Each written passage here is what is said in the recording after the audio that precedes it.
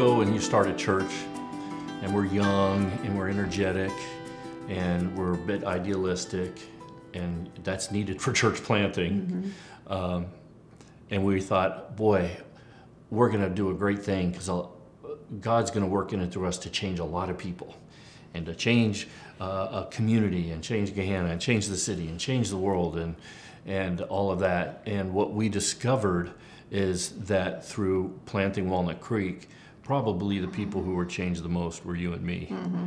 That, mm-hmm. Uh, um, and perhaps the person, the people who have benefited the most mm-hmm. from Walnut Creek has actually been been me and you. Mm-hmm. Yeah.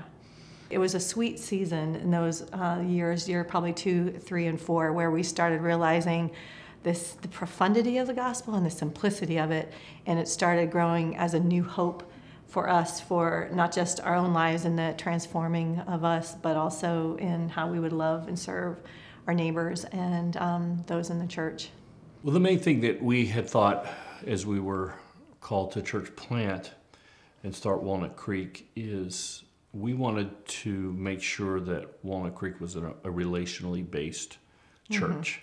Mm-hmm. Now, there was a positive and a negative reason for that. negative reason was some of our prior church experiences were not relationally based, and so we said to ourselves, we're not going to be like them. Mm-hmm. Um, we're going to be different.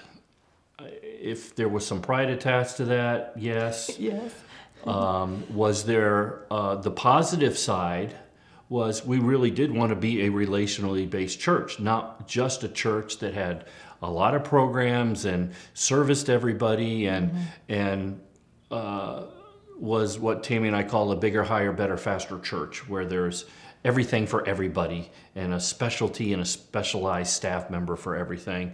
We actually wanted people to know and love each other, to know and love the pastor and his wife and the staff, and that uh, we would learn and grow together as families. So that's what we really wanted one of our early Bible studies, Tammy and I, with some other ladies, were sitting around our kitchen table.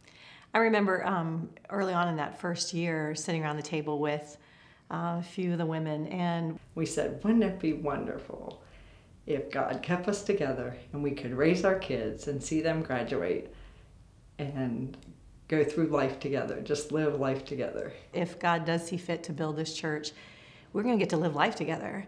Um, and, it, and there was so much excitement and celebration to that. And then also the, the, it was also wrapped up in the sorrows. We were going to birth babies together. We were going to um, bury parents um, or perhaps spouses or just the reality of that. Um, we would have a lot of joys and a lot of, um, and a lot of sorrows together. But the beautiful thing is that we were really looking forward to being together in that and a relational um, based church was really kind of the model that, as you said, we were hoping for and we were envisioning even from the very beginning that we would do life together.